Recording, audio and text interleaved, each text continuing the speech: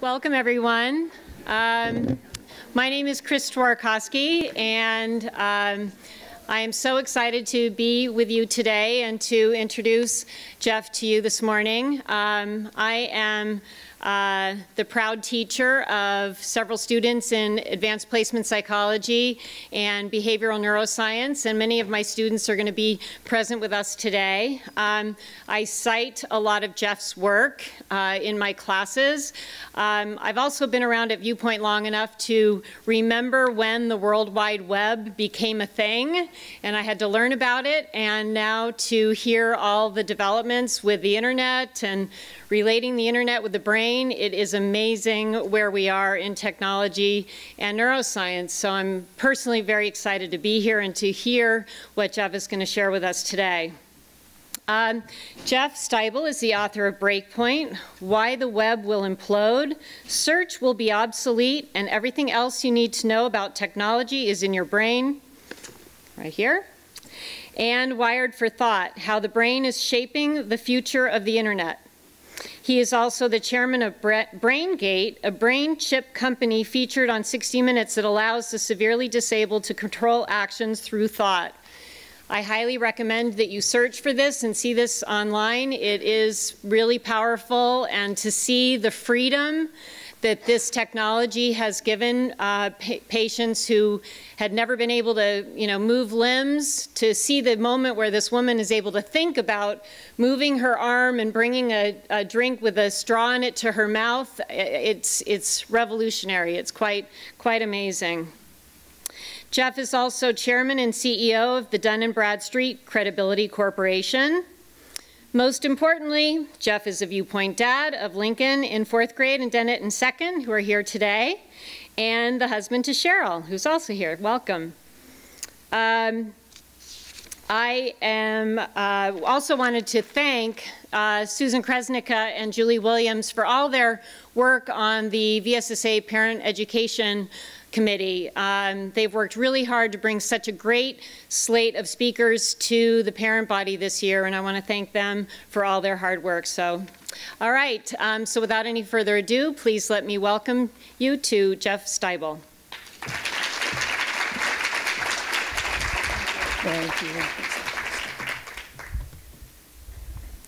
Thanks, guys. Um, thank you, Chris. I'm gonna I'm gonna come clean. I actually don't know that much about the brain uh, which would make now a very good time to sneak out of the room. Uh, if, if, you stay, I'll tell you what I do know, which is actually a, a significant amount more than what most people know and think about the brain. Uh, the, the, reality is, the, is brain science is just too new a science, so it keeps changing. When I, when I wrote my first book, Wired for Thought, um, we, we, thought that there were about 100 billion neurons in the mind. Neurons are the fundamental building blocks of thought. They're the cellular level of the brain. So we thought we, we had that one nailed. You just count them. There's 100 billion of them. By the time I wrote my second book, the number had changed to 500 billion. We apparently undercounted, missed a few. Uh, by the time I started doing research for this talk a couple of weeks ago, the, the number shot down to 87. We, we overcounted, apparently. It, the, the, reality is, it, brain science is just too new a field to really know what we're talking about as scientists, so we really shouldn't call ourselves scientists, uh, and as, as lay people, I don't think we know very little at all. So what I thought I would do today uh, is, is first give you some, some true facts about the brain and dispel some myths. Uh, then spend a little bit of time on brain development, or how our child's brain develops, and, and then I will dare to give a couple of prescriptions, at least the things that I think are the most important things to focus on in terms of child brain development. So I'm going to start with, with the facts that I think we can all agree to in the room. I think there are only three. Everything else that you know about the brain is wrong. I pretty much guarantee it. Uh, number one, the brain weighs about three, three and a half pounds. That's a good fact. You can pull it out, you can weigh it. We know that. We're not going to be wrong. Number two, it sits up here in our skull. Pretty obvious. Uh, number three, it's responsible for our thought, our egos, who we are, and what we do. Uh, that last one, by the way, took a long time to figure out. Aristotle, of all people, thought that the brain resided, or that intelligence resided in the heart. Gives whole new meaning to romantic poets as they wax poetically about, uh, about their hearts. They're talking about more, more about their minds than anything else. Those are the three fundamental things that I think we all agree on. Uh, everything else, we probably don't understand. So the first thing that I'm going to talk about is the biggest myth, that the brain is special. It's beyond our comprehension. It's something that was bestowed upon us by, by some godly, otherly force, and we can't understand it. Absolutely not. The brain is a biological machine. That simple. It's wetware instead of hardware. It uses electricity just like a computer, and it is very straightforward. And once you understand that, that fundamental piece, which is probably the most important thing, you can learn all kinds of things about this ordinary organ. It's got nothing over the heart, the liver, the pancreas. It is an ordinary organ doing extraordinary things. I'm going to play a, uh, a quick clip. It's actually a 60 minutes piece from a company that I'm the chairman of called BrainGate, um, where we're doing some really interesting things leveraging the machine of the mind to try to help disabled patients. Once in a while, we run across a science story that is hard to believe until you see it. That's how we felt about this story when we first saw human beings operating computers, writing emails, and driving wheelchairs with nothing but their thoughts. Quietly, in a number of laboratories, an astounding technology is developing that directly connects the human brain to a computer. It's like a sudden leap in human evolution, a leap that could one day help paralyzed people to walk again and amputees to move bionic limbs. Andy Schwartz, a neuroscientist at the university, implanted this grid of electrodes to connect the monkey's brain directly to a robotic arm. The monkey has both arms restrained, and we're recording brain signals from its brain, and it's using those brain signals to operate this entire arm. But what you're telling me is that the monkey is operating this arm with nothing but his thoughts. Absolutely. What are the chances that a human being would be able to do the same thing? Oh, we think a human being could do much better. And believe it or not, Cathy Hutchinson is well on her way to finding out. She's among the first humans to have her brain directly wired to a computer. Years ago, Cathy suffered a stroke that left her mentally sharp but trapped inside a paralyzed body and unable to speak, locked in, like Scott Mackler. Three years ago, Cathy volunteered to have the same kind of sensors we saw in the monkeys implanted in her motor cortex, which controls movement and is located right on the surface of the brain. The sensors connect to the computer through this plug on her head. The system is called BrainGate. Cathy now has neural control over that cursor. Dr. Leigh Hochberg of Massachusetts General Hospital is leading the clinical trial. We watch together as Cathy showed us what she can do. We're seeing Cathy moving this cursor with nothing but her mind. That's right. She's thinking about the movement of her hand, and uh, she's moving the cursor much, much as if she had her hand on a mouse. Moving the cursor with her mind is not as fluid or direct as using a mouse, but Cathy always hit her target in the end. You want to uh, play some music? All right. She'll click on it, imagining squeezing her hand, which is the, uh, or doing something else for the click. And she just clicked play. Yep, she did.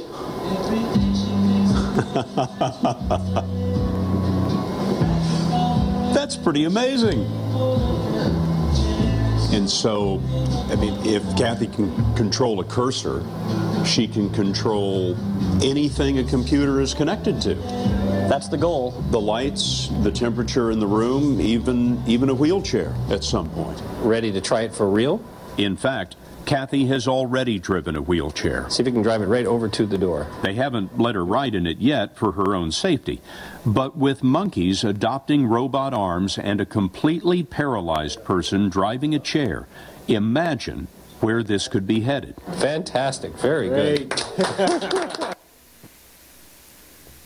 So why is this important? I mean, obviously for us at BrainGate, we, we, think that we can actually revolutionize the way that we think about injuries and, and help people who haven't ever been able to communicate before. Uh, but for all of us, it, it allows us to remember that the brain is an ordinary organ. It is a biological machine. We've been featured on 60 Minutes two times now, and everyone says the exact same thing. Wow, that's amazing, incredible, and then they forget about it. Because we always sit there thinking we're special.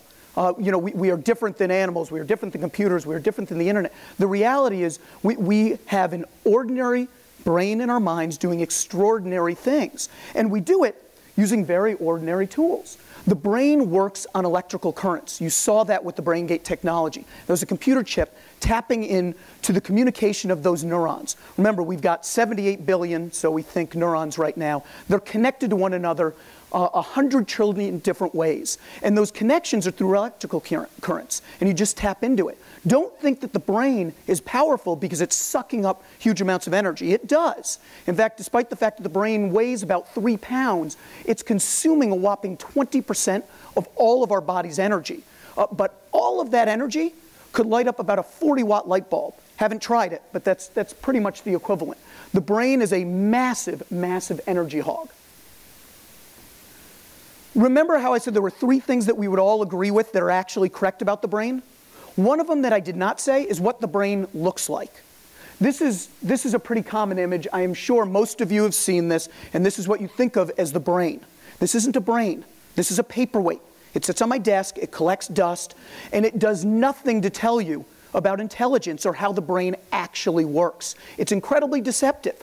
This thing is useless. It's a dead brain.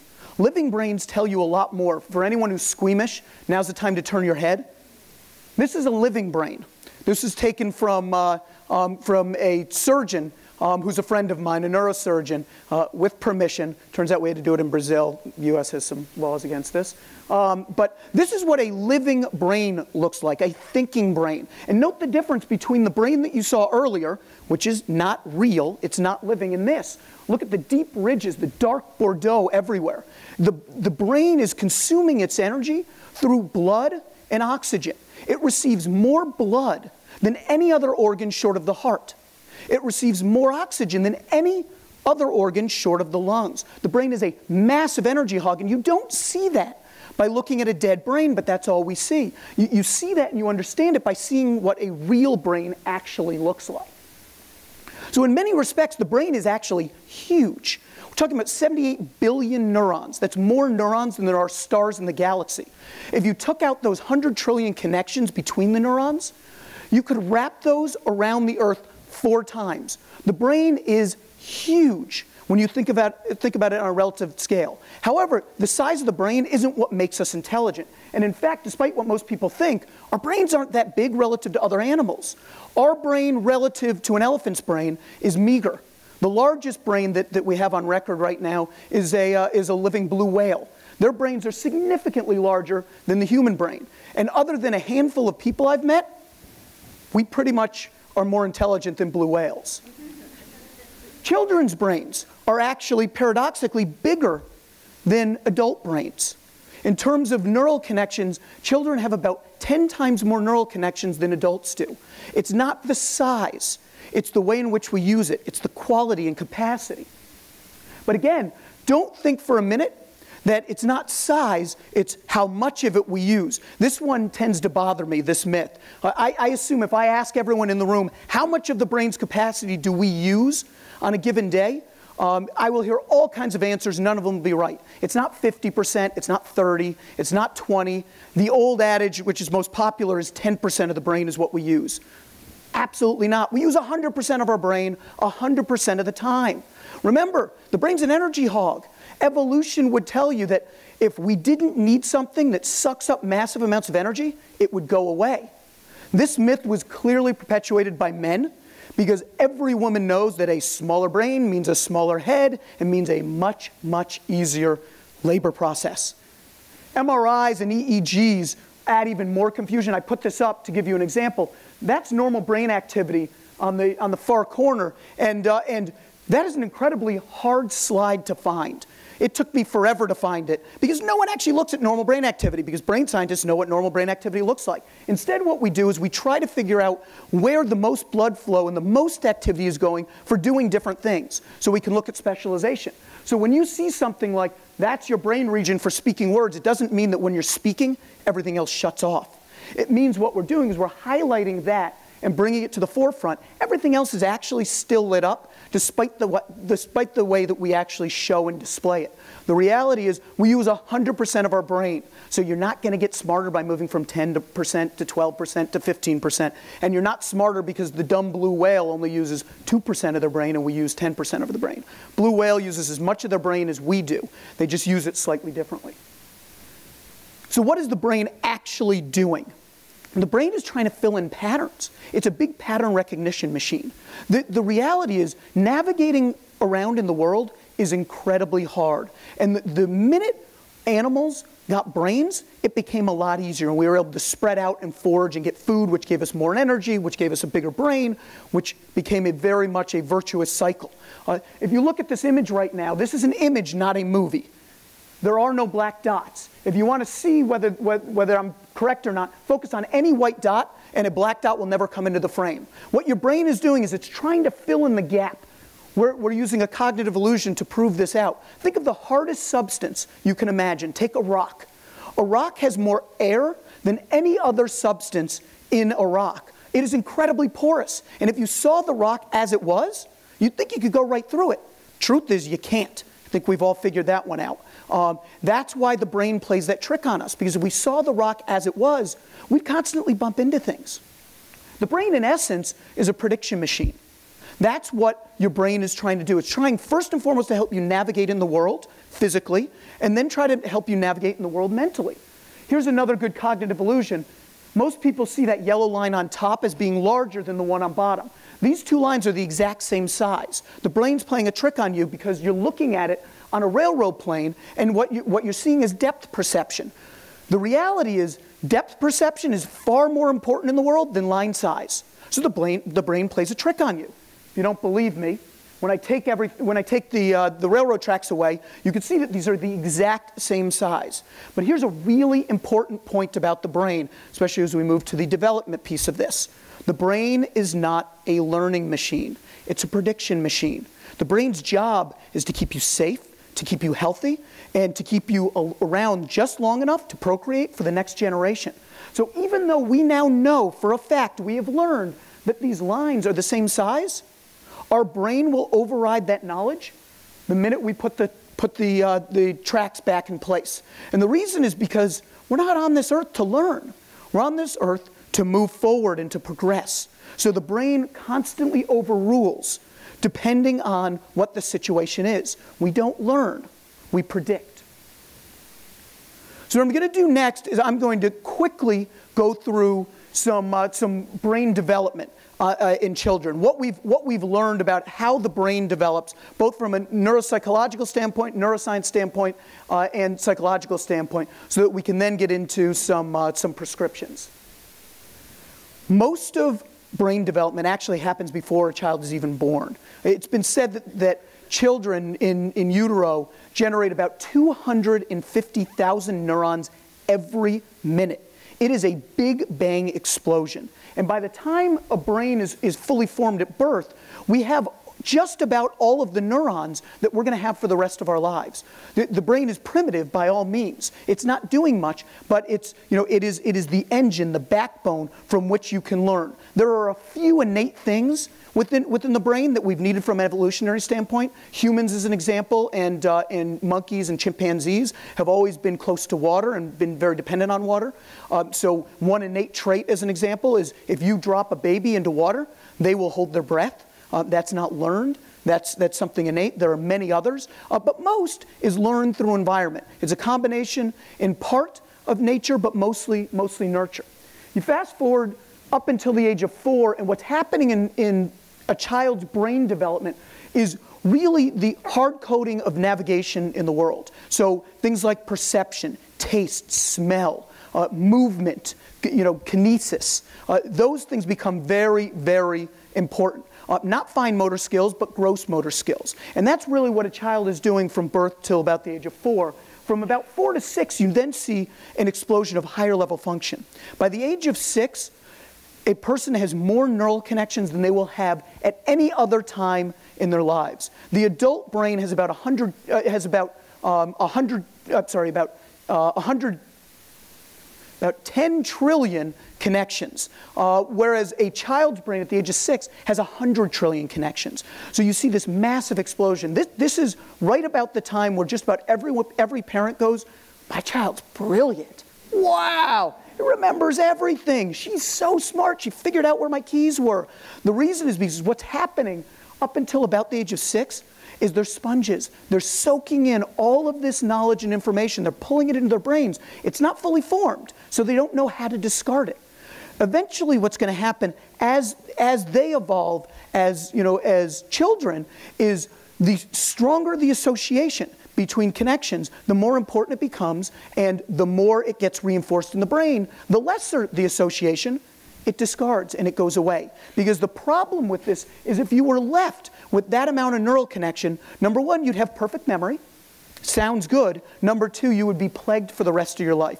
People with, with perfect memory, uh, and there are, there are a small handful of them, tend to lead very average to below average lives. Uh, they, tend, they tend to be less intelligent than average people, uh, and they tend to not perform very well because you're soaking up all of your information, all of your, uh, all of your insight, all of your brain capacity with knowledge, um, with information. And, uh, and knowledge is only powerful to the extent that you can utilize it, and you can't utilize it with a full brain.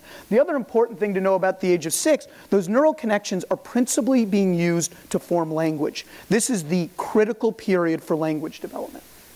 Fast forward all the way up to everyone's most worst time period, teenage years. So, what's happening from the time a child is six to the time they're 13 when they go from being the smartest, best kids in the world to miserable wretches? Uh, it's pretty simple. And actually, from a brain science perspective, it actually makes a lot of sense. What's happening is the, the, old, the old brain functions are developing, uh, those motor skills, and then they're starting to get more, uh, more smart with, with reasoning and logic. So their, their logical minds are getting more and more developed. Uh, you know, their math, their math processing ability is almost fully formed by this point. However, their ability to do judgment and decision making is still very immature and impaired. Uh, and their emotional brain uh, is probably as immature as any other functioning in the brain. So think about what happens. Logically, the child thinks he has the right answer, but can't make the right decision. And then when you try to tell him what's right or wrong, he or she flips out because she doesn't have an emotional center. Pretty straightforward. Now you know. The secret move out of the house. I mean, there's no other good alternative. Nothing's going to work. Just leave. I'm going to fast forward through the teenage years because they're horrible. Go straight to, to age 17 where they're out of it. Um, emotional center starts, uh, starts forming. Their decision-making ability starts getting more, uh, uh, more, more strong. Uh, it's not fully formed yet, but it's better. There, you know, it is no surprise that at age 17, almost all across the world, the globe pushes kids into higher education, into colleges and universities, because this is where kids can first start to apply one brain region to another. Uh, and, and that's where abstract thought comes in. That's where the real magic of thought happens. They've gone from those 100 trillion neural connections to about 10 trillion. They've, they've massively shrunk their brain, and they now have that capacity to think creatively and to expand their minds. Um, it's not fully formed. In fact, that doesn't happen until about the age of 21, where you see an executive function come in. Best way to think of an executive function uh, is uh, having a mature, natural, balanced brain. Before that time, certain brain regions were more dominant than others. So the brain was, was shifted. It was, you know, it was focused on the areas that were more developed, uh, and the less developed areas suffered. Uh, once you have balance, you have homeostasis, the executive function can kick in and know where to shoot the right types of information. Certain things go to the emotional center, certain things go to the logical reasoning center. Uh, it's at that point where, where the kids truly become adults. They get really smart. You know, it figures this is, this is when they leave college and they leave the house. The good news is they're just smart enough to know a good thing when they see it and they end up moving back in and they, you know, and they eat your food and you have a whole nother problem. Okay, I'm to be I'm to be bold and give you what I think are some brain prescriptions uh, for yourself and, and for your child. And I'm going to try to do this largely in the order of, uh, of importance, at least in my mind. Again, don't take my word for it. This is just me waxing. Um, but uh, um, it, let, let, me, let me start with, I think, the most important thing that we miss. It's actually not the most important, it's the third, which is sleep. Uh, the first most important is air. I don't think I have to tell any of you about that. The next is water. Um, air, you can live uh, a few minutes uh, before, before you die, water a couple of days. Uh, interesting thing, food you can live a couple of weeks. There's a reason that food isn't, isn't before sleep. The world record holder of sleepless nights held it for 12 days. After that, he becomes that earlier brain I showed you. 12 days.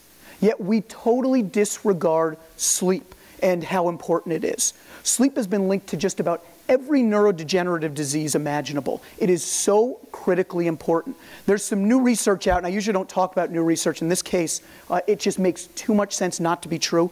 We have, for literally the dawn of time, not understood why we sleep. And I think we actually do now. It's not because we dream, as Freud once thought. Uh, it's not for create, creativity. It's not even so that we can rest. It, it's actually so the brain can poop.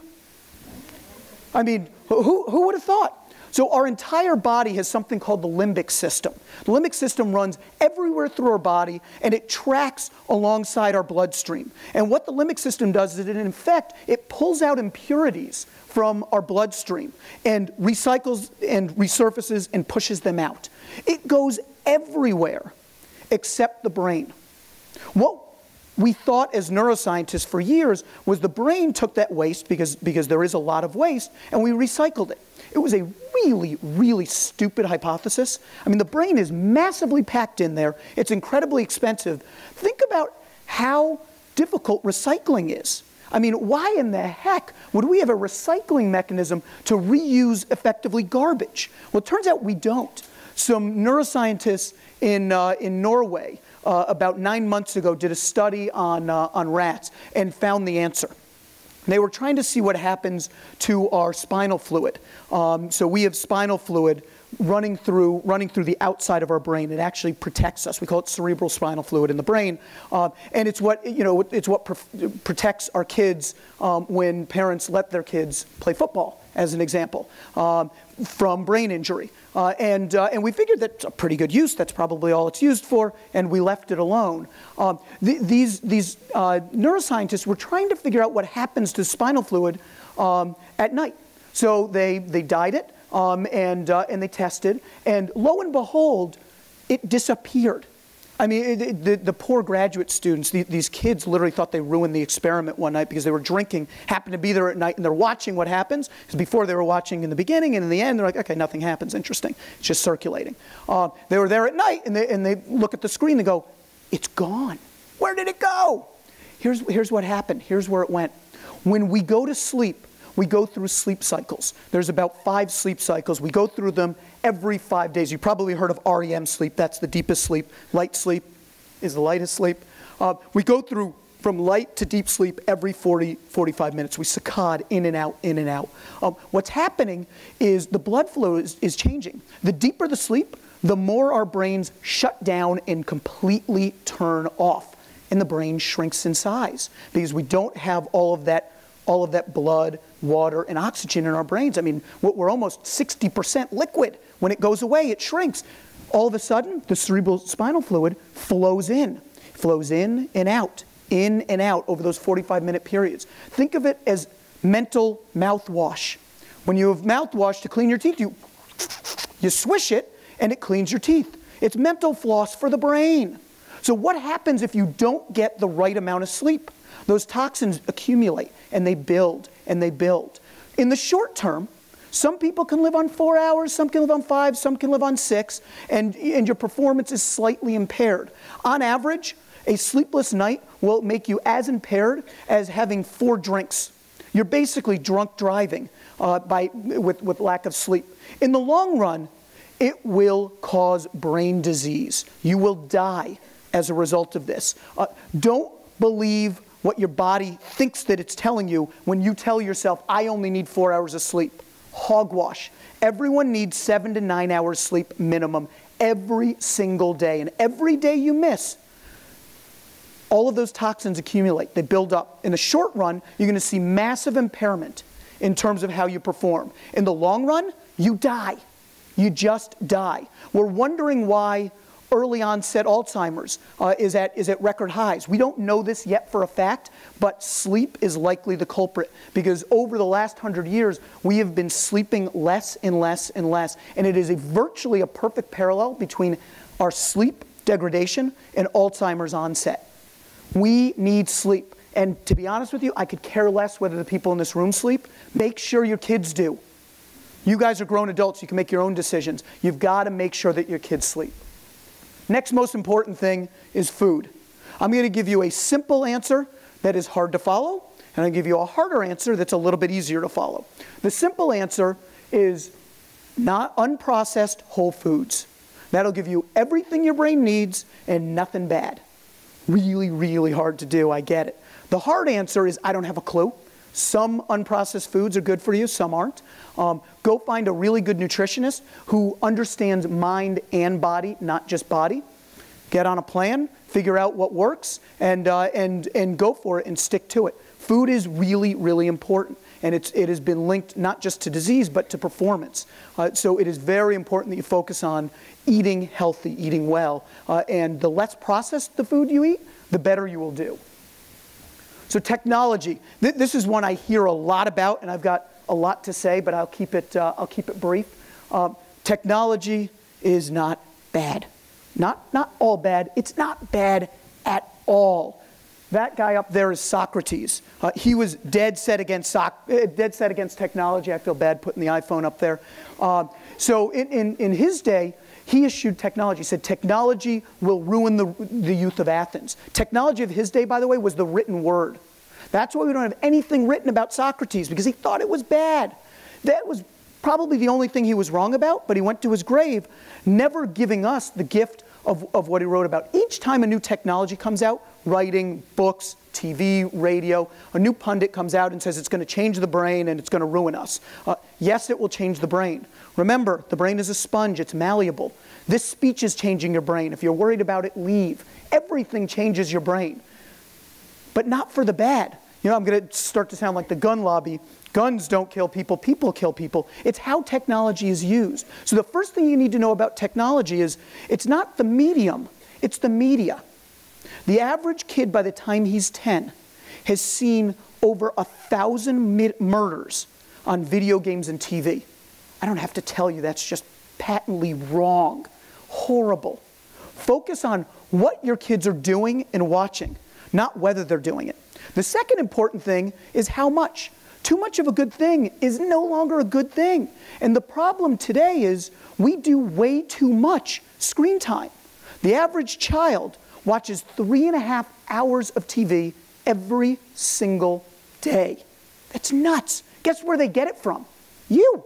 The average adult watches four hours. Four hours of TV.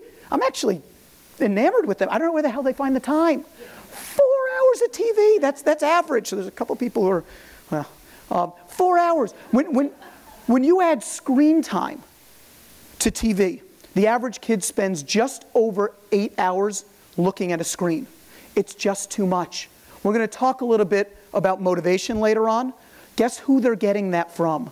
They're emulating you guys. You need to put your screens down. You need to not watch TV. If you want your kids to read a book, start reading. If you want your kids to ride a bike, start riding bikes. If you want your kids to watch TV, you're doing a good job. It's working.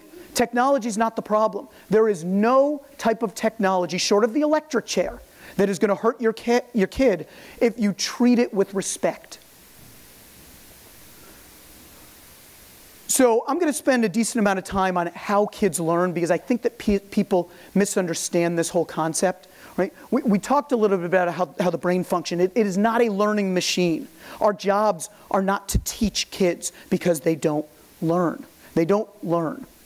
The way that we have to get our kids to learn is through prediction, through trial and error, through fast failure.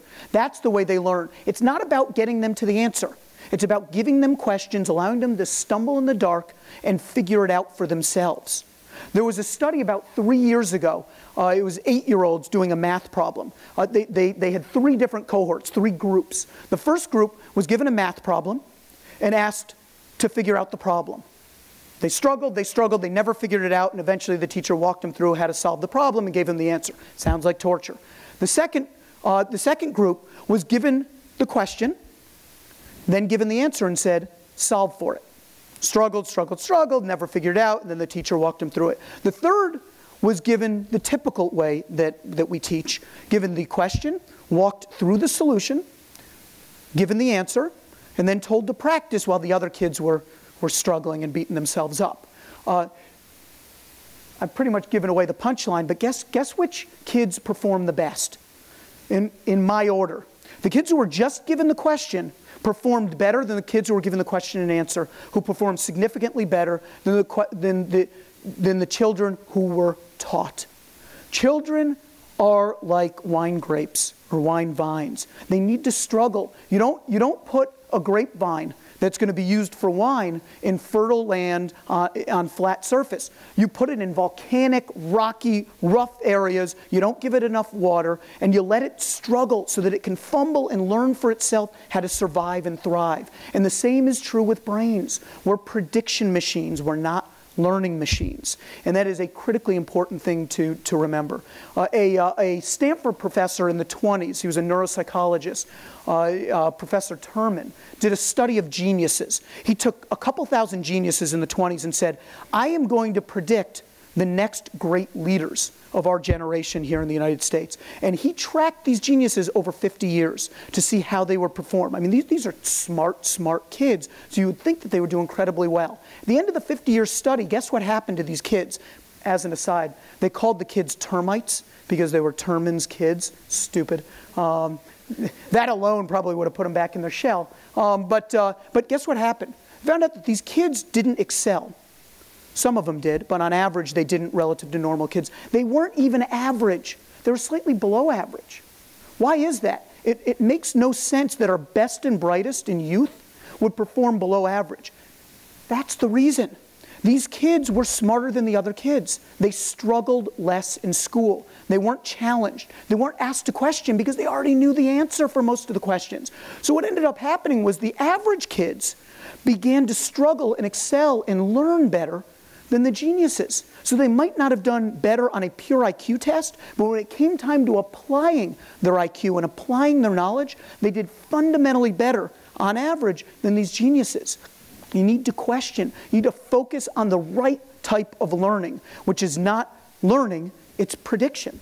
And when it does come to learning environments, we should all remember one size does not fit all. Critically important. I mean, we have to determine how each kid learns and set the environment to the child, not the child to the environment. Maria Montessori did a great job of this. You know, she learned at the turn of the last century that ki each kid learns differently. Some, like me, need to walk and talk it out. Um, some need to write things down. Some need to listen. Some need to read. Others need to be read too.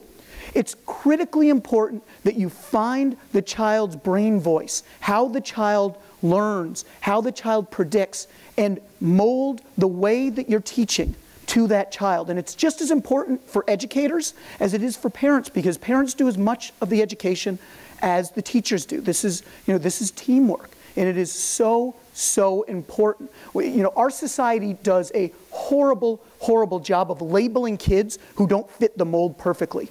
Just over 40% of our population, it said, has ADD, attention deficit disorder. You know what you call something that's over 40%? Normal, not a disorder.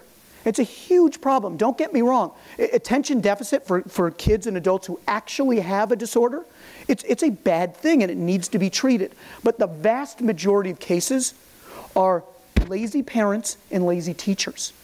We're unwilling to mold the classroom. We're unwilling to do what Maria Montessori did. There was, there was a desk, but if the kids didn't want to sit on the desk, she put the kid on the desk. If the kid didn't want to sit on the desk, she removed the desk. If the kid didn't want to be sitting in the same grade as everyone else in their age group, she would expand the age brackets. We need to mold our classrooms and what we do at home to our children, not the other way around. And we need to do so in such a way that we actually motivate a kid to realize that learning is really, really fun.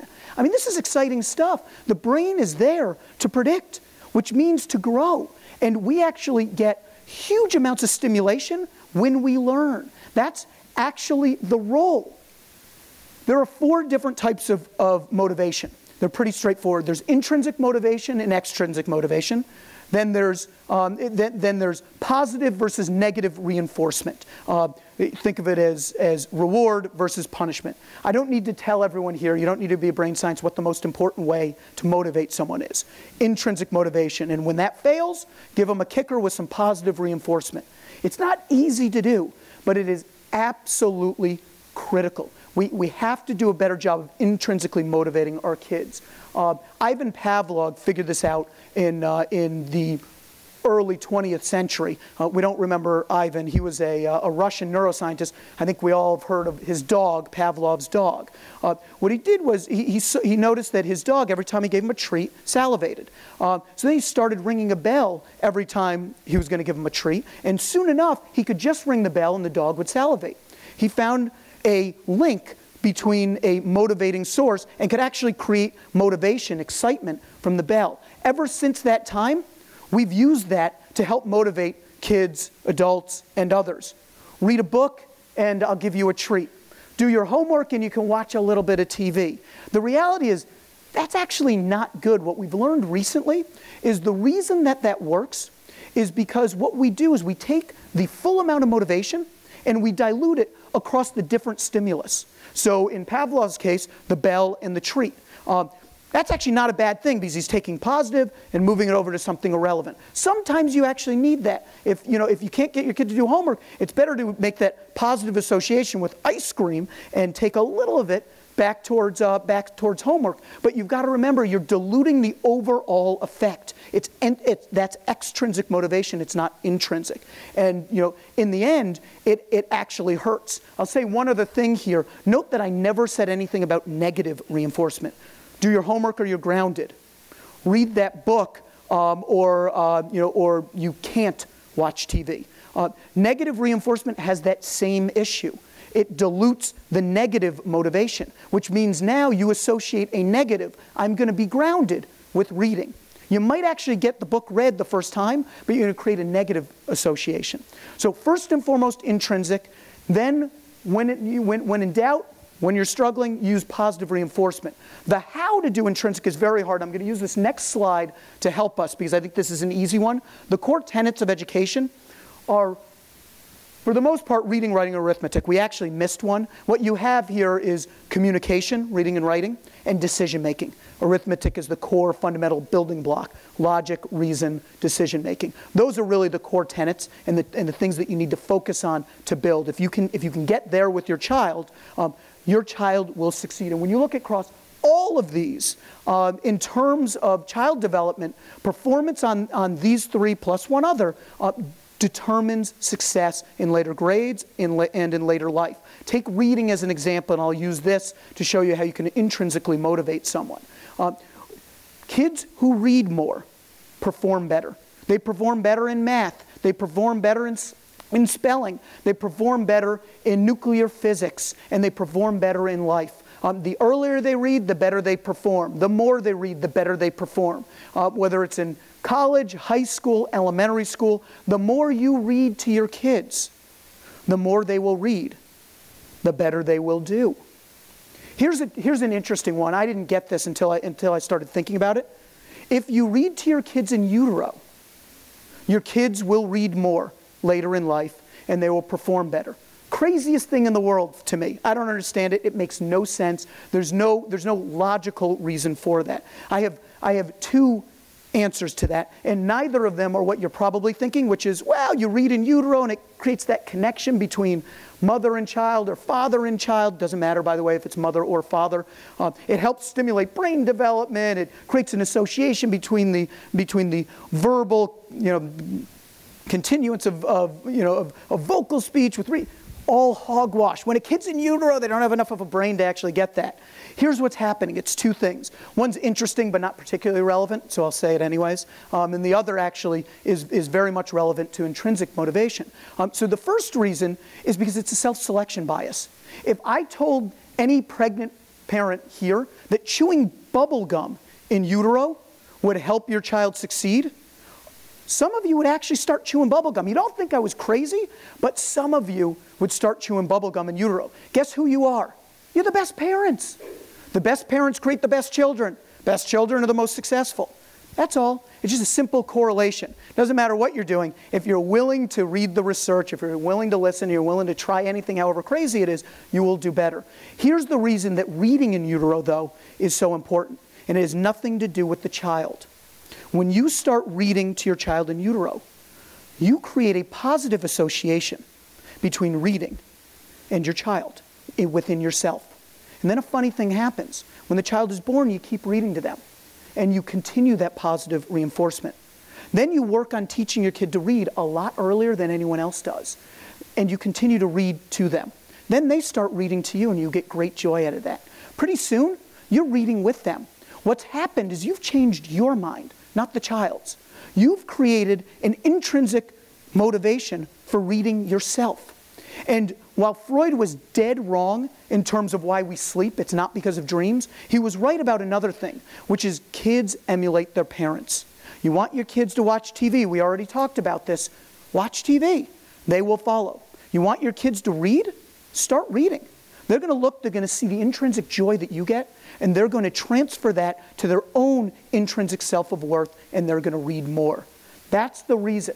So if you want your kids to do something, intrinsically, it's really, really simple, but really, really hard. Do it. So, the one thing that was missing from reading, writing, and communication is speaking. Remember, there are lots of different ways to get information in, and each kid is different. Most schools and most parents completely forget speaking. And the reason is because most of us are afraid to, to speak in public.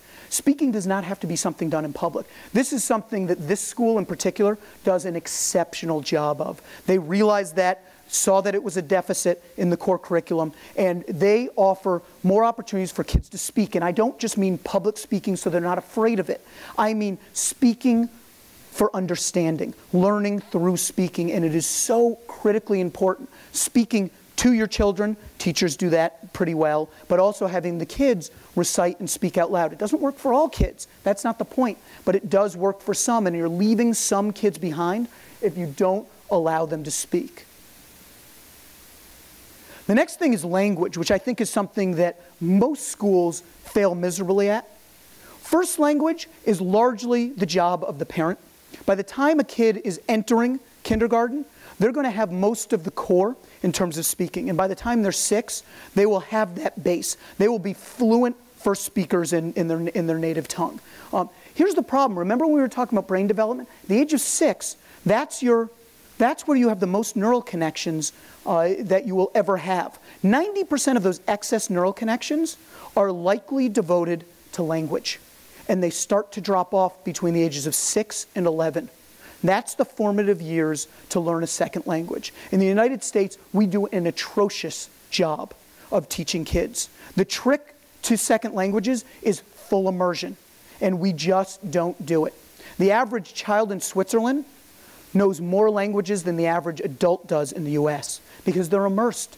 You know, in Switzerland, they speak German, Italian, English, and, and French, uh, and, it, and it comes very natural. This isn't hard if you get it at the right time. By the time a child is about 11, their ability to learn a second language as a native language is fundamentally gone. So if they haven't already learned at least a second language, preferably a third, by that point, they're never going to be able to pick up another. The nice thing is if they've already learned a second one by the time they're 11 or 12, they've retained those neural connections. And because of that, they're going to be able to use that and adapt to other circumstances and be able to pick up other languages later in life. I'm a victim of that. I know exactly one language and I will never be able to learn, learn another language. I know that, I understand it, and it is a shame that given we know this for a fact, that we don't do more to immerse kids in second and third languages earlier in life.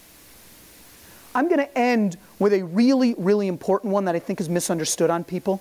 Uh, this, this falls in the category of last but certainly not least, which is how critically important safety is to kids' brains.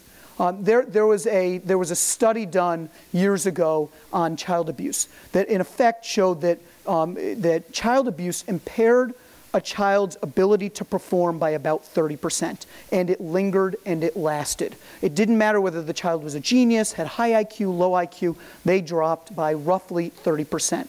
And most parents sit there going, Wonderful. Not going to abuse my child. That's good to know. And shame on you if you do abuse your child. Uh, what we've learned over time is the definition of abuse is something that is fundamentally misunderstood when it comes to the brain. Obviously, if you beat your child, if you hurt your child, if you do physical damage to your child, uh, that is going to affect their psychology and that's going to affect their brain functioning. Uh, but it is far more than that. The reality is, if there's bullying going on at, at school, whether it's bullying to your child or around your child, they lose that sense of safety. If you're fighting around your child, they see that.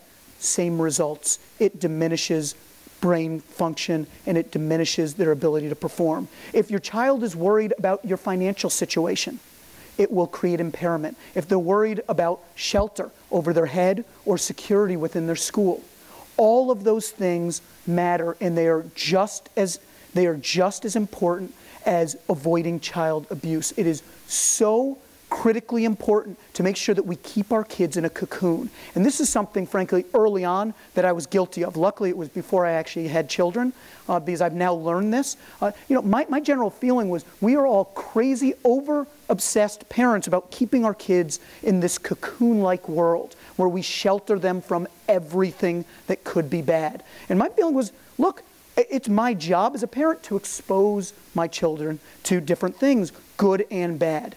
Wrong, dead wrong, I was wrong. The reality is you should treat the outside world from a negative standpoint like a disease. The trick here is you immunize for diseases. You don't immerse. How do you immunize?